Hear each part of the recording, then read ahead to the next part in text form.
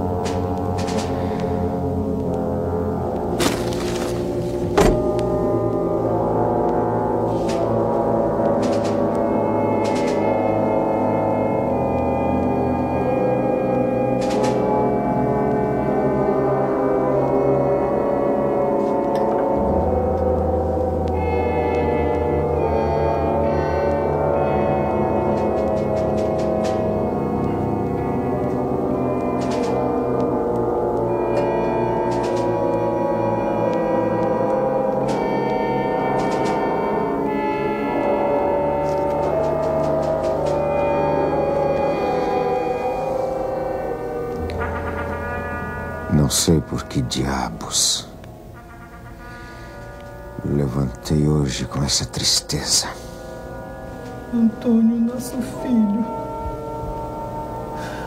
Você nem conheceu ele.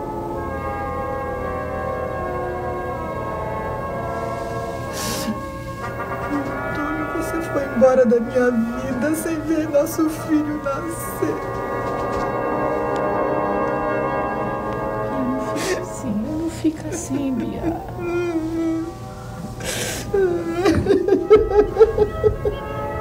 Essa vontade de chorar.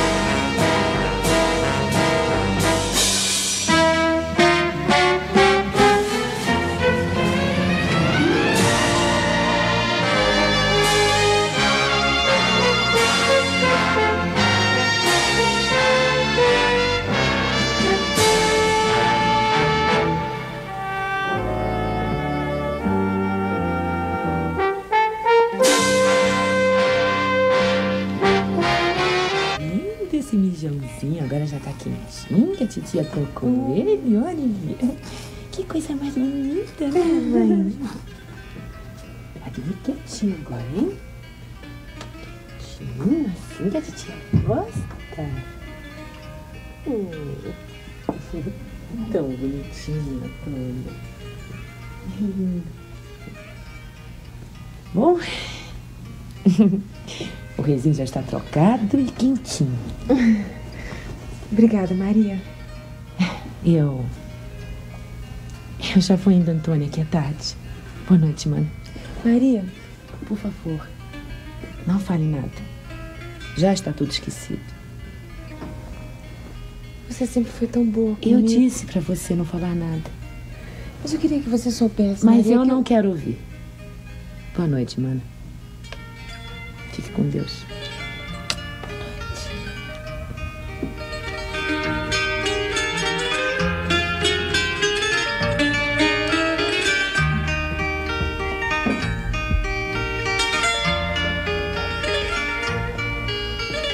Seu Antônio, por favor, o senhor podia abrir a porta para eu sair? Pois não.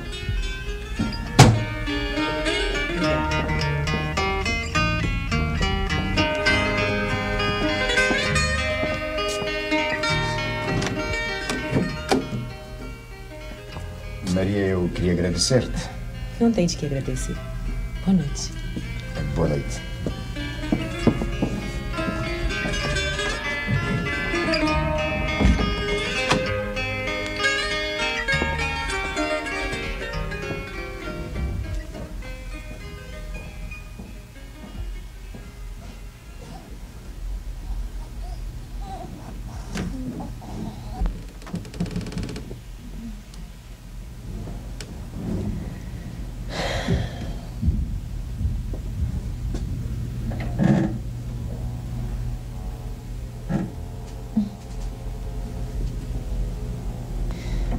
Ela trocou ele com, com tanto amor, Antônio. É. Tua irmã é uma bela rapariga. Ela já esqueceu a raiva por causa do nosso filho. Eu sei, eu sei. Antônio. O que, que você tem, Antônio? Você é tão esquisito. Eu. Eu não sei o que é que eu tenho, mas isso passa logo. Você devia estar alegre, devia estar feliz, não devia? Eu sei, eu sei, mas eu. Eu tenho cá um aperto no peito que eu. Eu, eu não sei o que é. Oh, vem cá. Vem dormir comigo, vem. Antônia, Antônia. Tu ainda estás de resguardo. Ah, bobagem. Vem cá, que acaba essa tristeza. Já, já.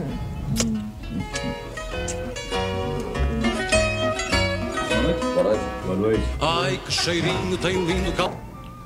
Primo, sabe, eu, eu estive no cinematógrafo hoje para esparecer um pouco. Eu não tenho nada com isso. É, mas você não sabe quem foi que eu encontrei lá, sentados lado a lado?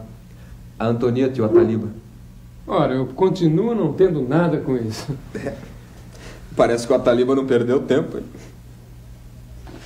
Ele faça bom proveito. E do jeito que ela olhava toda derretida para ele, eu...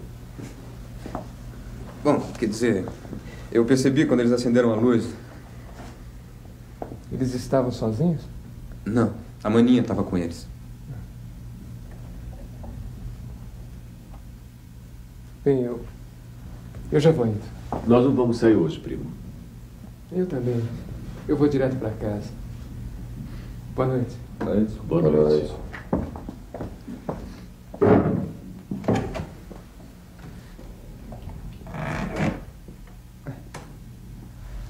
Ele não ficou com ciúmes?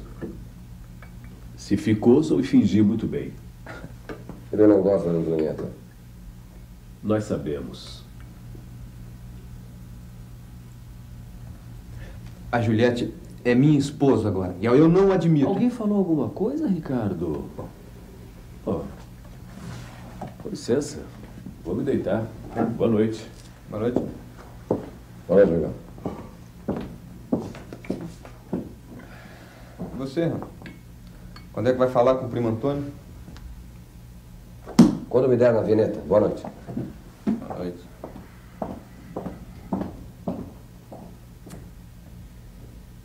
É. Estamos todos de luto.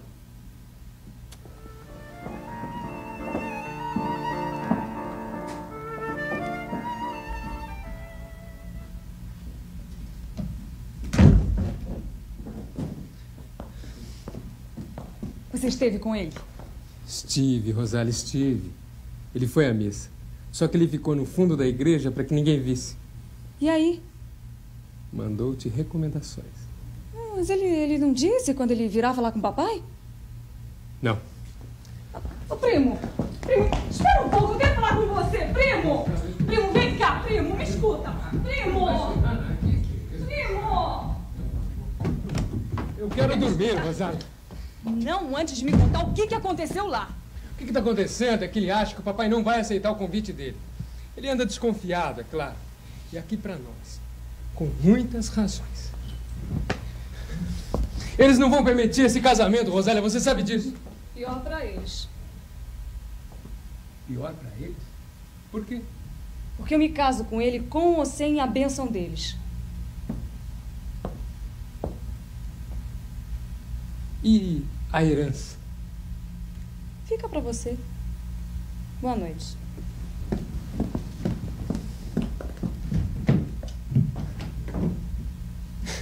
Ela é maluca.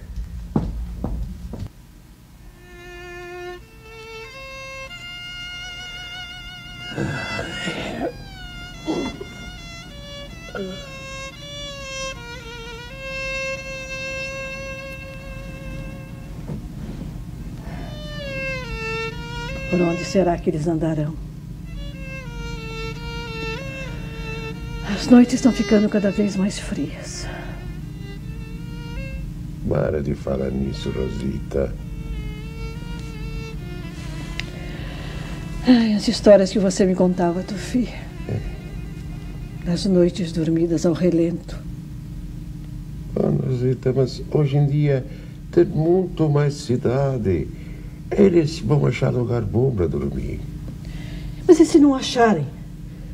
É. Arranja-se, Rosita, arranja.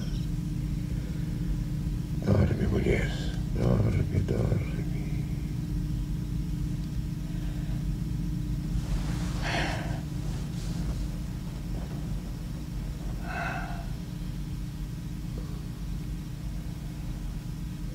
Tufi, será que ele está dormindo bem? Lá tinha tanta estrela, tio. Lá na sua terra. Hã? Eu tô perguntando se lá na sua terra tinha tanta estrela. Ah, estrela. É, estrela, muito bonita. É, Jorge, seu, Bras... seu, nome meu, seu, seu brasileiro, muito bonito, é? É. Como meu pai disse, nunca vi um céu tão estrelado. É, Jorge, babai tem razão, muito razão. Nunca ninguém pintou um céu assim. Hã?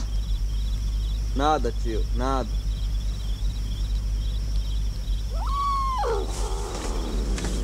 Jorge? Que é isto, Jorge? É miado de onça, tio. Onça? É, é um gato grande que come gente. Come? É, tio, come. Por aqui deve ter muitos. Meu pai me disse que certa vez lá no sertão de Minas Gerais, ele encontrou com uma no meio do caminho. Onça? É, tio, onça. Babai achou? Achou não, tio. Encontrou com uma baita onça de uns 20 palmos. 20 não, de uns 50 palmos. Hum. Jorge, tio tem um pouquinho de medo assim, não? Não precisa ficar com medo, não, tio. A fogueira tá acesa. Esses bichos têm medo de fogo. Fogo? É. Fogo espanta onça. Espanta. Ah, espanta, espanta. É. é então, vai faz mais fogo. Põe no fogo, dor. Sim. para espanta onça. É. العان البسين شو شو جرت تعمل هون البسين اجي لهون حتى تاكل لحمه ما في لحمه هون ده جورج Meu pai Oh. falou que matou o animal, tirou a pele e vendeu para um fazendeiro lá de Minas mesmo. Meu pai conta tanta história, a gente nunca sabe o que é verdade e o que é mentira.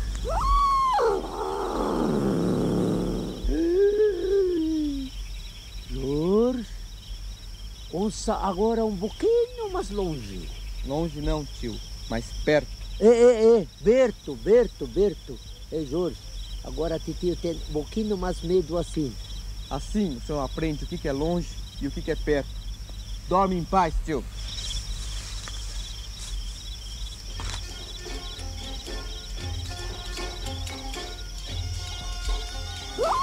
Uh!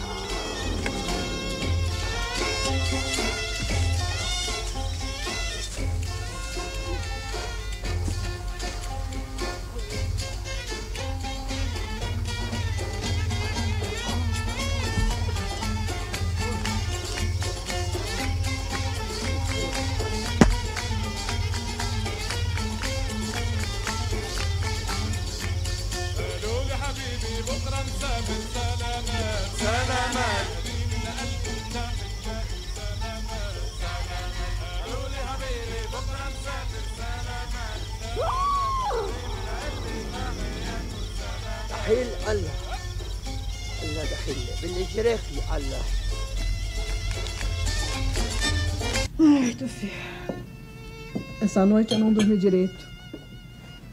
Não consegui pregar olho. Bobagem, mulher. Bobagem. Bobagem. Pra você tudo é bobagem. Eu sonhei com o Jorge. Mas se você não dormiu, que nem você sonhou? Tufi, eu não quero que o Jorge continue nesta vida.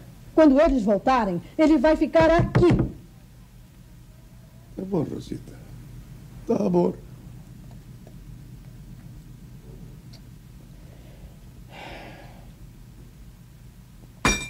Bom. Nós vai abrir venda.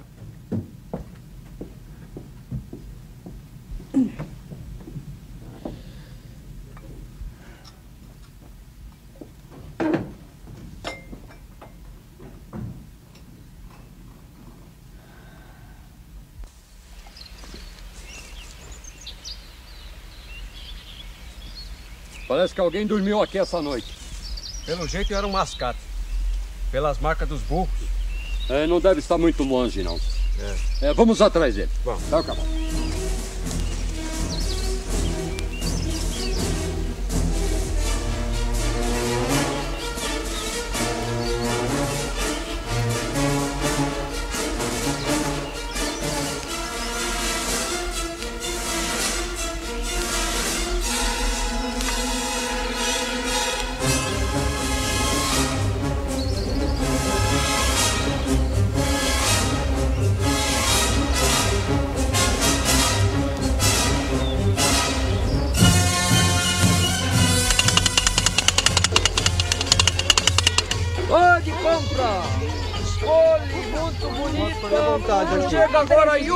Jorge para traz a mercadoria para vocês. Muito bonita hoje. Muito baratinho. É, pode escolher, pode escolher à vontade. Depois a gente conversa. Uma rei. Né, tio? Ei, Jorge. É, é.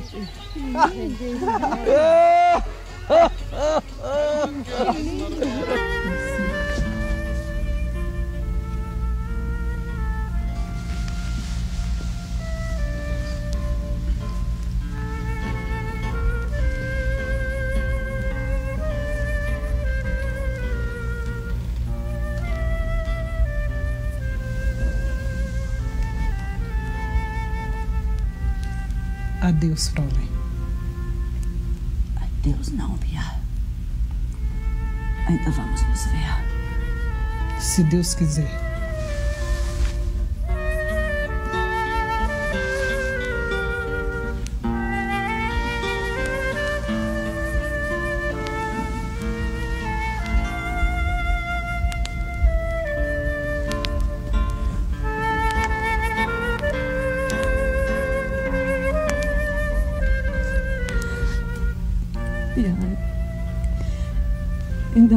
Você. você... Hum, eu vou porque eu quero.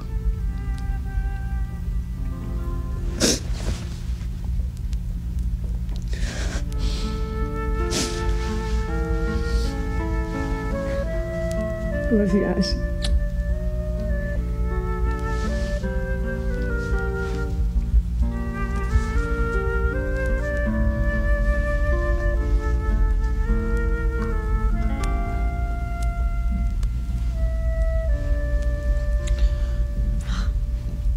Ainda vamos estar juntas muitas vezes.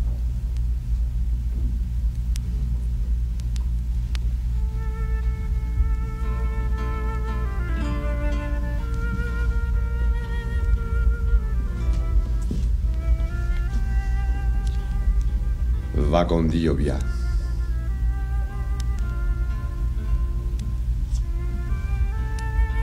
Podemos ir, primo?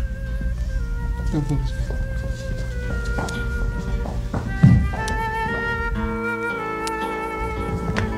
Nós nos vemos lá, Bia. Mas chega de adeus, o que é isso?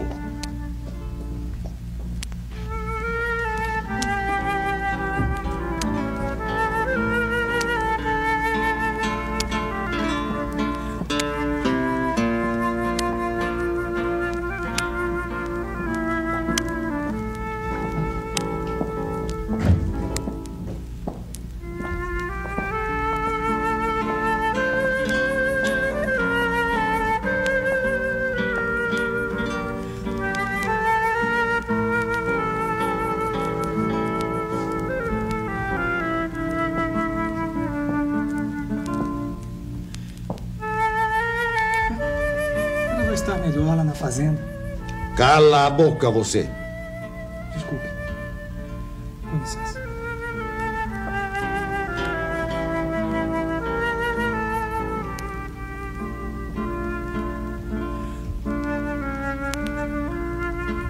Ela também era um pouco dona de tudo questo.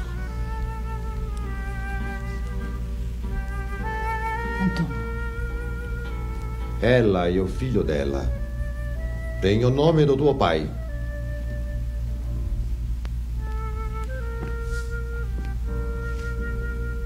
ela podia ter ficado aqui se quisesse.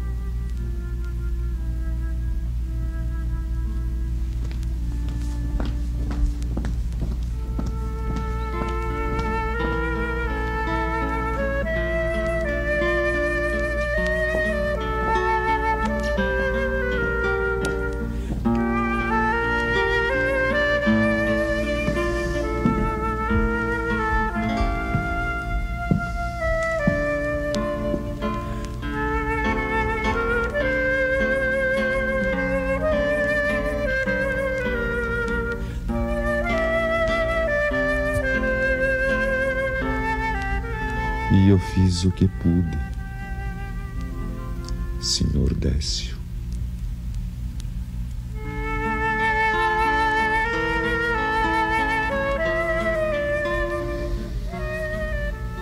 Publicaram aqui o necrológio dele. Hum, ainda bem que ele não morreu esquecido. É. Eu tinha prometido ajudá-lo a achar o pai dele. Do doutor José? É, Matilde, de que nós estamos falando? Do doutor José. Matilde, você sabe de mais alguma coisa? Eu quero dizer, do tempo em que você trabalhava lá na mansão do senhor de Salve. Pouca coisa. O que eu sei é que o pai dele Era um é. português que se chamava Antônio Pereira. É. E que tinha um tio aqui chamado Manuel. O pai dele veio de Portugal à procura desse tio.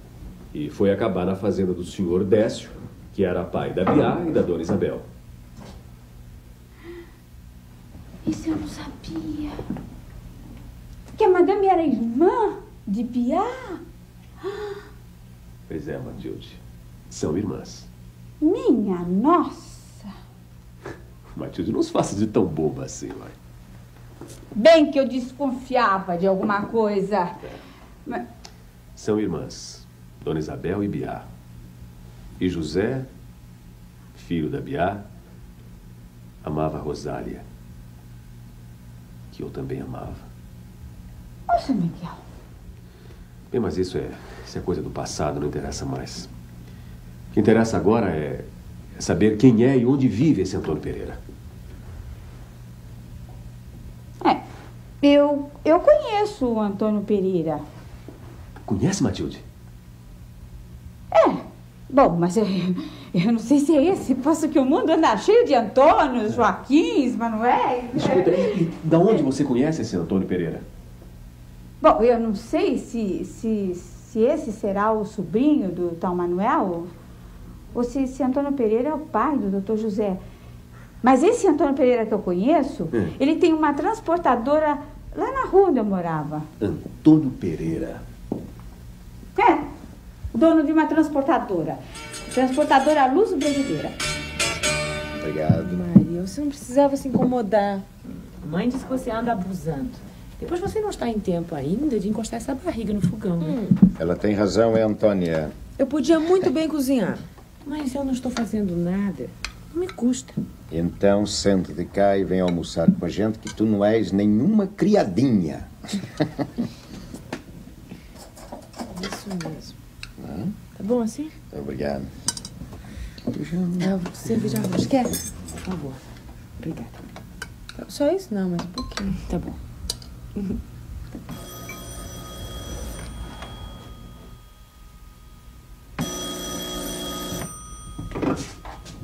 Pronto! Transportadora Luso Brasileira, suas ordens. O dono dessa empresa chama-se Antônio Pereira? Chama, por quê? Ele está? Está almoçando. Se for algum carreto, o senhor pode falar comigo. Não, não. Eu queria conversar com ele pessoalmente. É assunto particular. Sim, senhor. Algum problema? Não, não. Eu irei aí pessoalmente mais tarde. É, obrigado. De nada.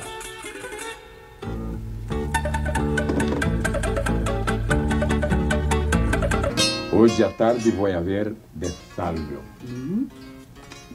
Arréglate bien, Antonio. Si él vive en la Avenida Paulista, no estará bien que te presentes como uno cualquiera. Bueno, bueno. Não te preocupes. Oh, mas eles eram tão amigos.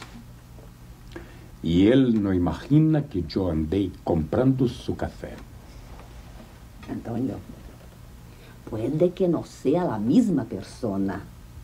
Entonces, ¿qué cara vas a poner? Entonces, me desculpo e pronto. Não sei quem era, não disse. Disse apenas que era assunto particular. Assunto particular, mas eu não tenho assunto particular a tratar com ninguém. Mas- Mas foi o que a pessoa disse no telefone. Está bem, está bem, então deixa vir. Eh, Sr. Onofre, por favor, atenda lá que deve ser algum freguês. Claro. Diabos. Quem será que tem assunto particular a tratar comigo? Não, mas.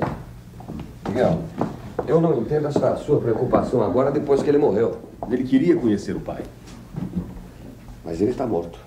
Mas mesmo assim, é pura perda de tempo, Miguel. É, a dona Biá jamais conseguiu esquecer esse tal de Antônio Pereira, sabe?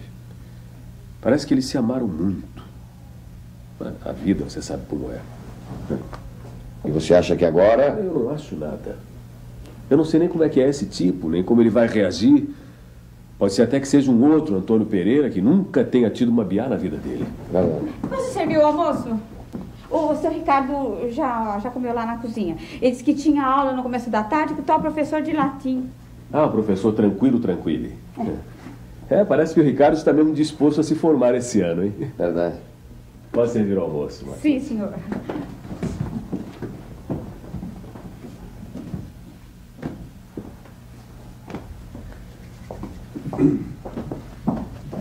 Matilde.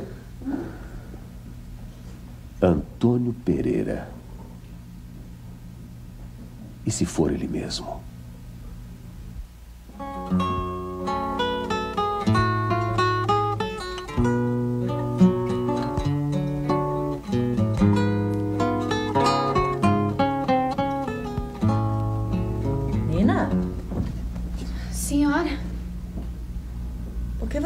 Sempre tão assustada assim? por nada, senhora.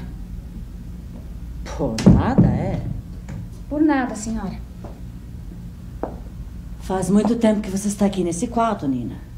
É que eu, Primeiro eu limpei o chão e depois arrumei os armários, aí eu vi. Ah, Está bem, está bem, Nina. Agora deixa essa cama de lado. E vai arrumar o quarto que era da Bia. Sim, senhora. Você vai desarmar as camas? Sim, senhora. E depois vai pedir ao Josué que leve tudo lá para baixo para a garagem. Sim, senhora.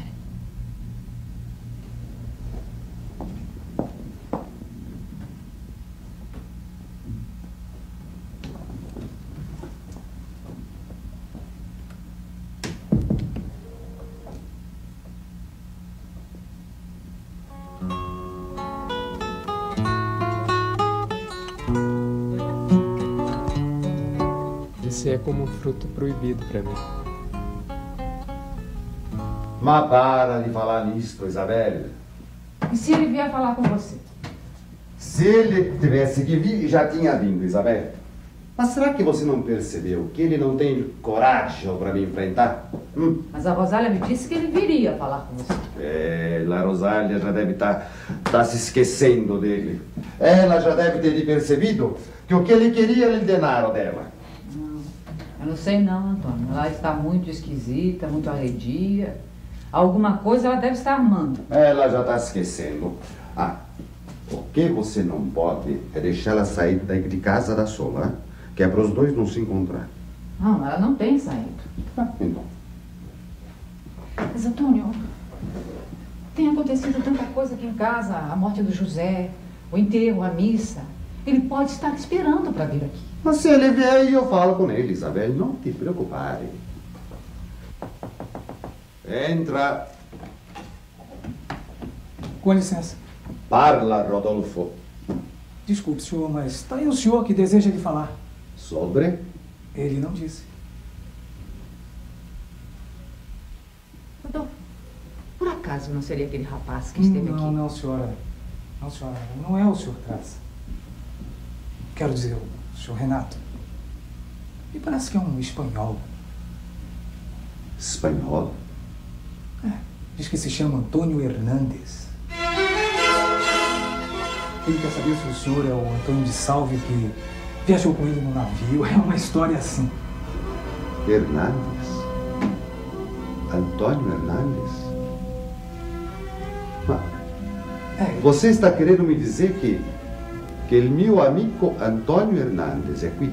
sim, ele está no portão. Josué não deixou que ele entrasse antes. Manda ele entrar, Rodolfo. Manda ele entrar subito. Anda, anda, Rodolfo. Isabel. É o Hernandes. L'anarquista. Bela nova. Mas você não te lembra dele? Faz muito tempo, né, Antônio? Eu não vivia lá na senzala. Não dire così. Pois é, teu amigo, não é? Então vá recebê-lo.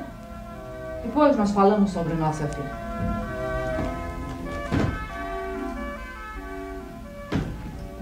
Hernandes. Como me encontrou?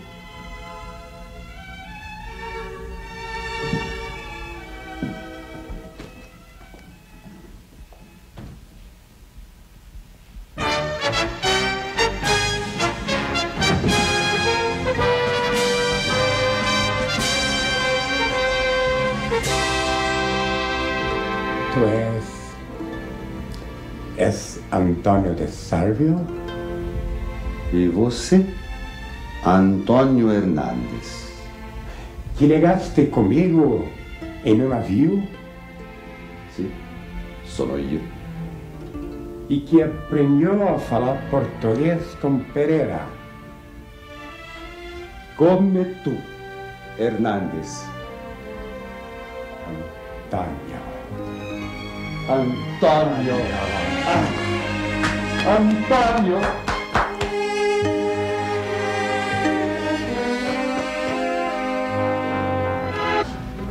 Hernández de Sárvio.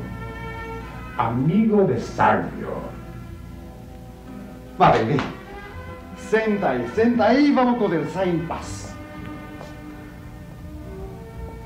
Madre, tu vives numa casa tão bonita que. Ma lascia questo, senta, senta, senta e vamos falar da tua vita. Quer que eu sirva alguma coisa, senhor?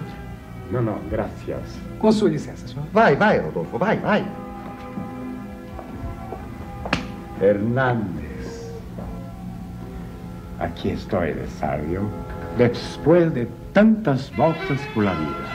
É, nós não se vê há tanto tempo. Desde 1891, desde aquella noche que salí de la fazenda que vivíamos, ¿recuerda? Sí. Sí. Me lembro. Bien. Después me vim para São Paulo, fui à hospedaria de los emigrantes e ali consegui um lugar em um navio. E voltou para a Espanha? Não, não. Fui para Buenos Aires. Fui para a Argentina. Tentar a suerte. Oía hablar tanto e, e pensei. Que? Bien. Ali vendi casi todas as joias de minha família que havia trazido comigo, recuerdas? Sim, sim, as tuas joias. Sim. Perdi todo, todo los malos negocios. Bien, después me puse a trabajar en un puerto, eh, descargando y cargando los vapores, hasta que un día me metí en uno de ellos e vim para cá outra vez. Ah, você está forte. Bem disposto. Ah. De salud, não puedo queixar-me. Mas dime uma coisa. Como foi que você me encontrou? Eu comprei alguns sacos de café. E quando fui saber de quem. Então foi você? Sim. Mas eu não sabia que você também estava trabalhando em questo ramo. Bien. Estou iniciando-me agora. E antes? O que você fazia? Antes. Ni perguntes, de Salvio. Ni perguntes. Era mesmo ele, Rodolfo? Parece, senhora. Eles se abraçaram como se fossem irmãos. E onde eles estão? Conversando lá na sala. Sei. Quem é ele, senhora? Um anarquista, amigo do Antônio. Eles vieram juntos da Europa, no mesmo navio. Ele chegou a trabalhar na fazenda do meu pai. Ele e o português, pai de José Coutinho. E- esse Antônio, esse espanhol, chegou a ameaçar o Honório com um punhal. Hã? Meu pai botou ele para fora da fazenda. Mas como é que é possível que ele e seu Antônio sejam tão amigos assim? Ah, naquele tempo, o Antônio estava do lado de lá. Vivia com eles lá na senzala. Ah, sim. Diga-me, como chegaste aqui? Te deixei trabalhando no campo e vivendo naquela maldita senzala. É, Hernandes, aconteceu tanta coisa depois que você foi embora. E eu tive tanta briga com o senhor Décio. Sim. Tanta discussão. E l'ultima, e la più grave, foi por causa da filha dele. E por quê? Você sabe como as coisas acontecem na vida, não? Bien, eu sei as coisas que se passaram em minha vida. E eu me casei com a filha dele. Compreendo agora. E salvei tutto que eles tinham. É perché il signor Décio, nella crisi di quell'anno, perdeu quase tutto. Quase tutto. Io tive que trabalhar molto, Hernandes, molto. Bien. De qualquer maneira, tiveste suerte. Odiavas tanto aquele homem que.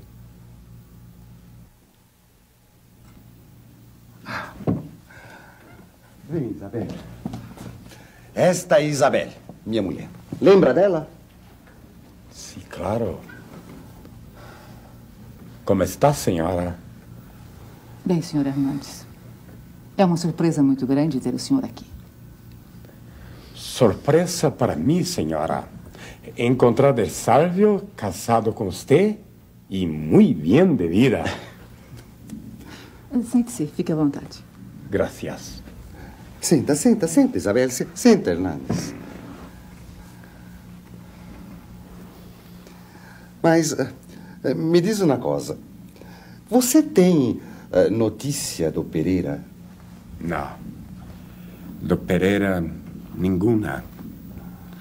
Pensei que. Pensei que soubesse algo. Nós também não sabemos. Eu nunca mais vi Pereira. A última vez que vi, estava junto de ti, quando saí da fazenda. É, mas é, algum tempo depois ele foi embora e nunca mais deu sinal de vida. Nós mudamos de lá, viemos para cá, para São Paulo e mudamos de vida também. Lo imagino, senhora. Bom, mas, mas você deve de ter casado, deve ter filho. Não, não. É, quero dizer, casei faz pouco tempo e estamos esperando o primeiro. Pero eu tenho um afilhado que se chama Francisco e é um belo menino. E eu tenho um casal. Nós temos um casal. Somos já grande. Sua esposa era viúva, então? Sim, sim, senhora. E se chama Mercedes. Y entonces, Antonio fue hasta allá a ver si ese tal de Salvio es la misma persona que vino con él en el barco. Eu continuo vivendo com o coração na mão. No, no te preocupes, no va a haber nada con tu hijo, no. ¿Por qué pensar siempre lo peor? Eu não sei, eu não quero pensar, mas Tú ya debías de estar acostumbrada con eso. ¿No era así que vivía tu marido antiguamente? era, era, dona Mercedes.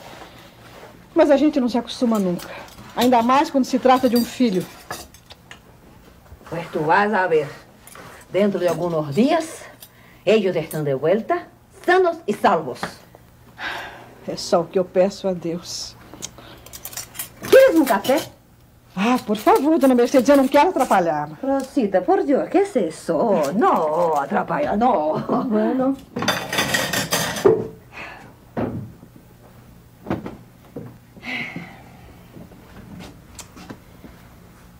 Yo también me quedo preocupada cuando Antonio sale a trabajar. Anda por la calle, de madrugada. Mais um pouco, tio, e acaba a nossa mercadoria. É? Tô falando que mais um pouco a gente pode voltar pra casa. Ah, sim. Está compreendendo, compreende, senhor. É, vamos apertar o passo que eu não quero dormir no mato essa noite, não. Tá muito frio. É, mato frio, muito frio. E tem onça. Oh. então vamos apertar o passo, tio. Ô! Ei. Moço! Bom dia! Vamos a gente conversar um pouquinho, moço?